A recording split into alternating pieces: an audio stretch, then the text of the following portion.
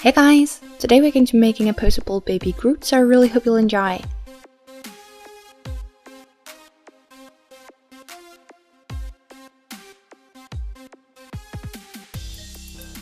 You want to begin with a light brown or tan color, roll out a ball and then flatten slightly to create the base for the head.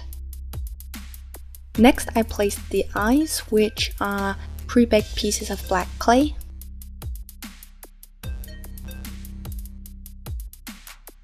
I then started defining the shape of the face and adding some clay around the eyes to make them the right size.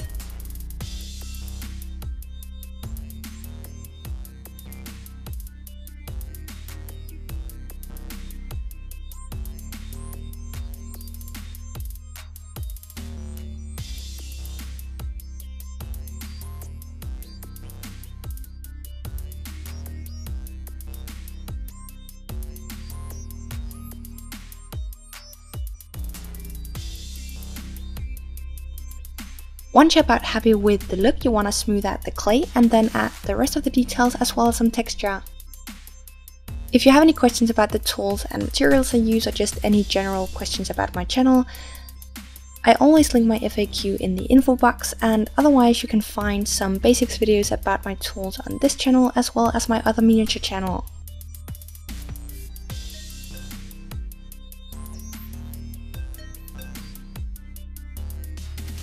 As always, when making these characters, I find a bunch of pictures of the character from different angles on Google and then put them together to make a collage in Photoshop that I can look at while sculpting.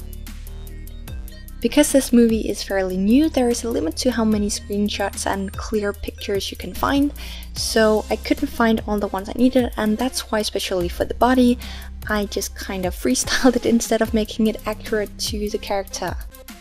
The good thing about Groot is that there aren't really a lot of other characters that look like him and so you're not really gonna mistake him for being someone else.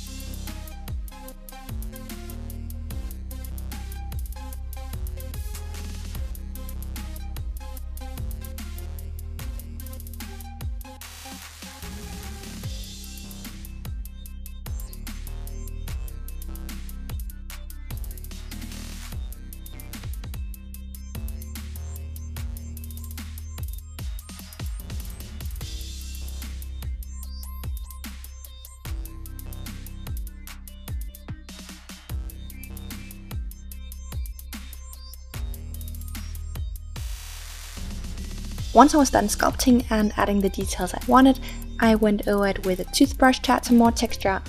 I used the toothbrush in a brushing motion and it's not really gonna add a lot of detail, but it is going to add a tiny bit of detail to the smooth areas. I then took a needle tool and poked a hole all the way through his head, and then pre-baked. After pre-baking I added some clay to the back and sculpted it the same way as with the front, and then pre-baked again. Next you can make the armature, which I make basically the same way for all my creatures or characters, so I'm going to link one of my videos in the info box if you haven't seen how to make it. You can then begin sculpting his torso or body. Because I wasn't able to find a nice crisp picture from the angles I needed, I did use what I could find just to look how the pieces were put together and then I also did a lot of freestyling. So I'm sorry if the pattern of the wood twining isn't exact, but as long as you can see who it is, it's not really a big deal. It's not really as important how the pieces on the twigs fit together, it's more important to get a nice texture to make him look like a tree.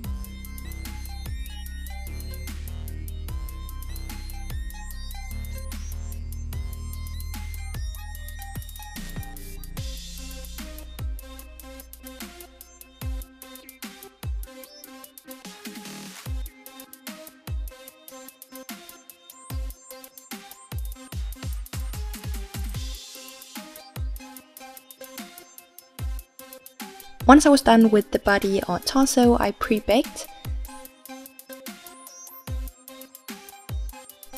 I then made the upper arms, pre-baked again, then made the forearms and the hands.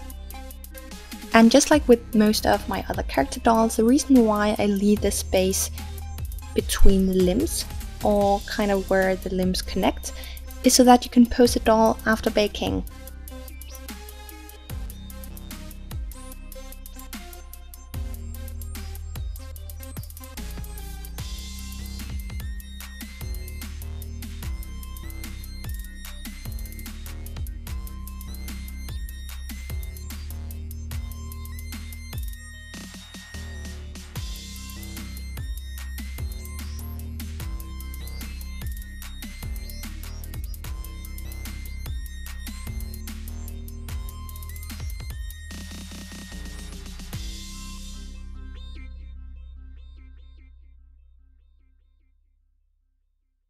Lastly, you just want to make the legs and once again I first made the thighs, then pre-baked, made the rest of the leg and then baked again.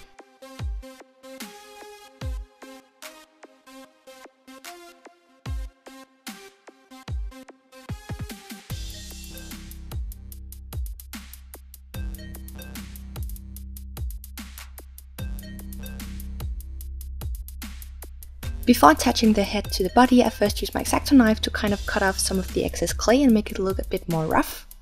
I then slid the head onto the wire for the neck, used pliers to bend the top of the wire so the head couldn't come off, added some clay on top to conceal it, and then baked one last time.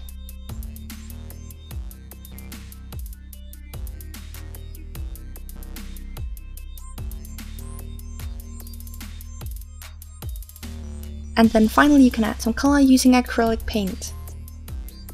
I purposely didn't add any of the sprouts or leaves that you may see on his body and the reason for this is because when you are posing it because of the size, you're most likely going to squish it. If you do want to add them, I recommend making them either from paper or fabric, but personally I chose to just leave them out.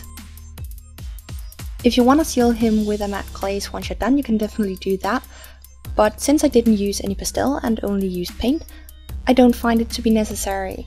However, I did add a thick glass glaze to his eyes to make them nice and shiny.